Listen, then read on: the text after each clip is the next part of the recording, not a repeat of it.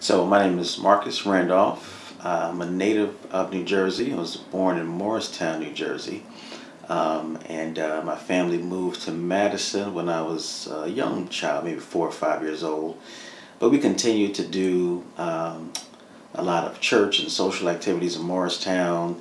Um, and I had family, you know, really all around North Jersey, um, from, you know, Morris County, Essex County, uh, the Oranges, Irvington. So did my undergraduate work at Hampton University. Uh, loved it there. The HBCU experience was unparalleled.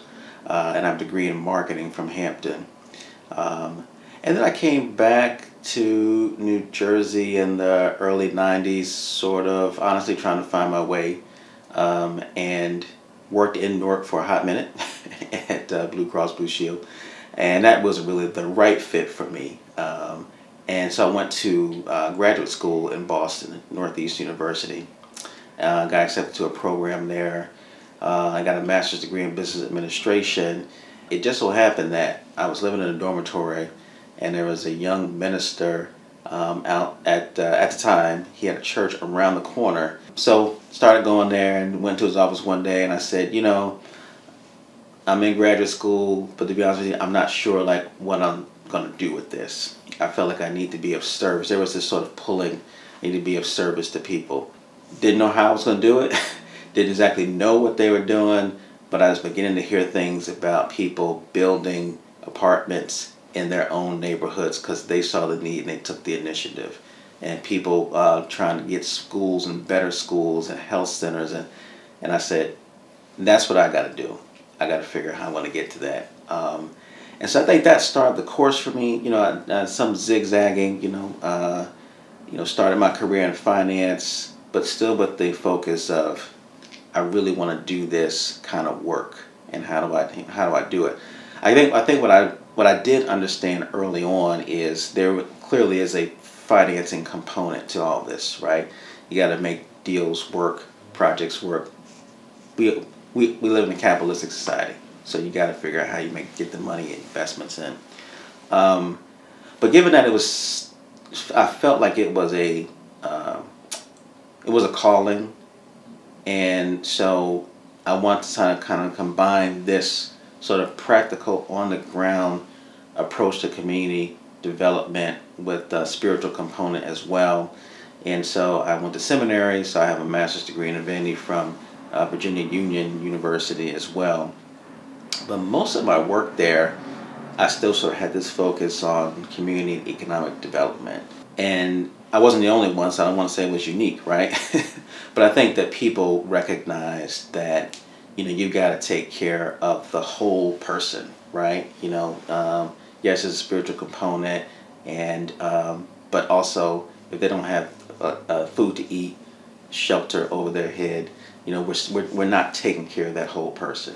And I feel like, you know, all that I've done over these last 17 years, knowingly or unknowingly, right, has sort of been leading me to this position. Um, you know, part practical, on the ground finance, but also part advocate as well, uh, you know, to be of service for the people of Newark. So practically, Invest Newark is the City of Newark's Economic Development Corporation. But let's try to break that down, right? Um, you know, what we want to do is lift all Newark people, residents, you know, business community as well, because there's a lot of focus on businesses, you know, that for the work of Invest Newark. But just to sort of help clarify what we're going to try to do. Um, you know, I see um, four big buckets here. Um, the first one is the land bank, which um, is seeing some success. Um, it's fantastic that it, that it does exist, but practically, right, what we want to do is there's land that the city owns and we want to want to reactivate it. Um, some of it is going to be, you know, a new home or maybe a two family that pops up on a on a block where there already other houses. So we want to fill that in. Some of it's going to be larger parcels, you know, that we're going to work, you know, with uh, Deputy Director Allison Ladd, maybe with the private development community, certainly with uh, minority business enterprises to see how we can develop those parcels. Um, so that's practically speaking, right? That's while we're at Invest Newark putting these things in place at the land bank, but but what people will begin to see is, oh, hey, look, there's a new house being built here or a new apartment being built. So that's one. Um, the second one is um, so Newark Fiber has been around for a while. There are some users. We want to increase the number of users.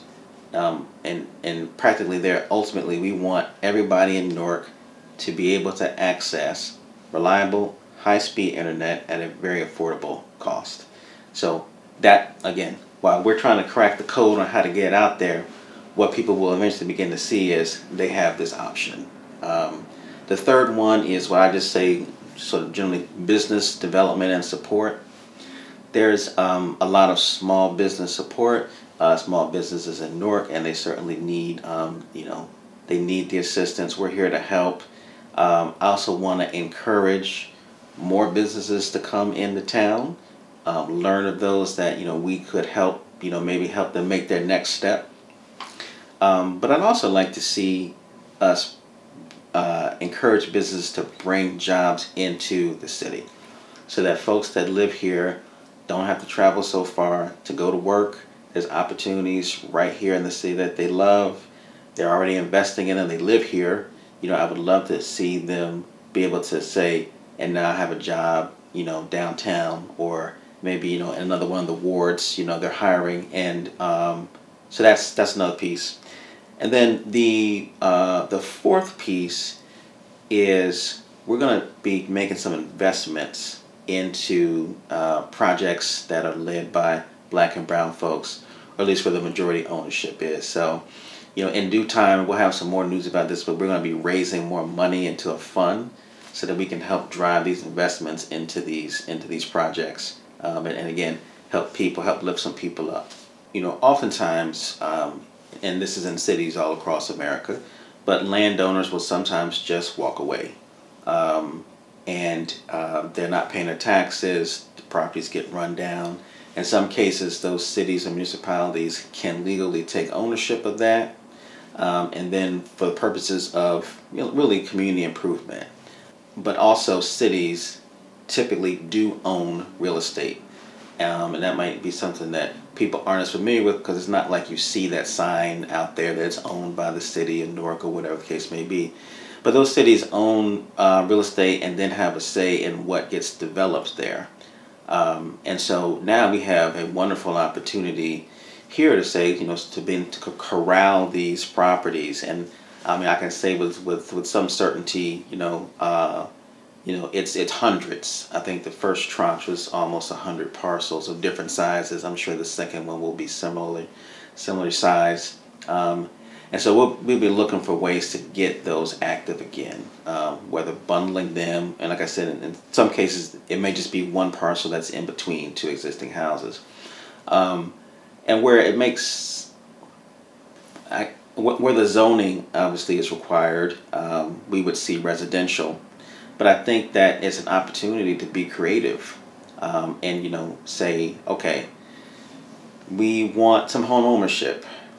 Um, you know, maybe a, you know, maybe only four units works in this neighborhood, but maybe we have another opportunity to do 20 home ownership, you know, uh, opportunities there. If it's downtown and it makes sense, maybe we have an opportunity to do a high rise home ownership.